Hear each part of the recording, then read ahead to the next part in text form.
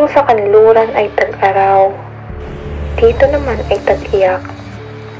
Kung sa kanluran ay humahalakhak, dito naman ay bumabagsak.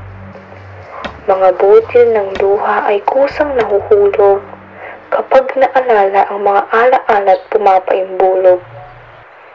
Maraming katulad kong kapwa kabataan, nais na makamit ang inaasam na kalayaan. Nasa kabilang bandaman ang kaligayahan at kalakasan ko, hindi ako susuko dahil alam kong may naghihintay sa aking pagbabalik.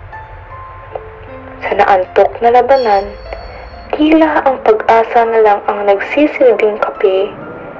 Kahit ano pang gawin, lumuha ng dugo o mapasuka man ng dugo, walang batbat ang aming mata ng pag-asa. Hanggang dito na nga lang ba kami?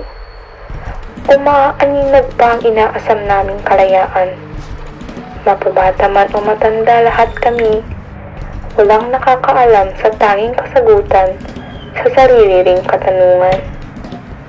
Kaya sa paglipas ng panahon, nanatili kaming malakas upang madamwit ang kalayaan at kami muling makakaahon. Mahal ko ng Pilipinas, bansang aking kinakatayuan, na siyang perlas ng sinanganan.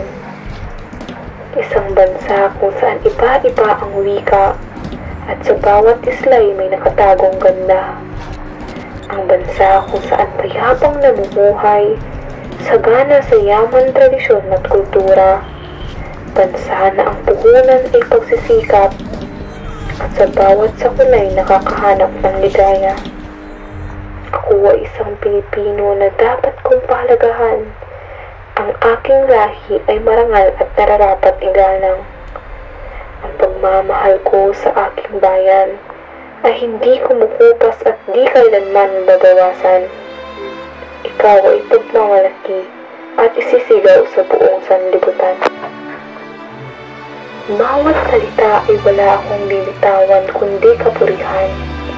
Para sa iyo, mahal kong Pilipinas. Paglilingkuran kita hanggat sa aking makakaya.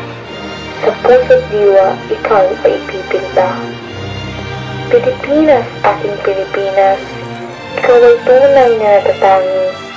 Sa napakaraming paraan, ika'y paglalaban mula sa kaaway kaya't aking minamahal na tinubuang bayan na kaloob ng lahat ng kayamanan.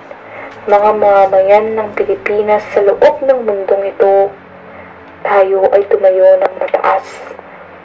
Mayroon tayong sariling wika at katangian na dapat pagyamanin at huwag kailanman ipagkaila o ikahiya. Bigyang halaga mahalin ng sariling atin at ipakita na tayo ay naiiba.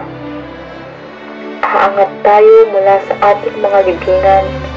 Bigyan natin ng liwanag ang walang hanggang kadiliman.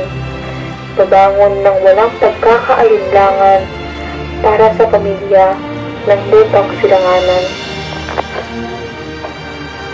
Hindi hindi na ako mahihiyat magmumukmok. Hindi hindi nahahayaang madumihan ng alikabok. Magmarcha tayo tungo sa hardin ng araw at buwan upang tayo ay makita ng buong kalawakan.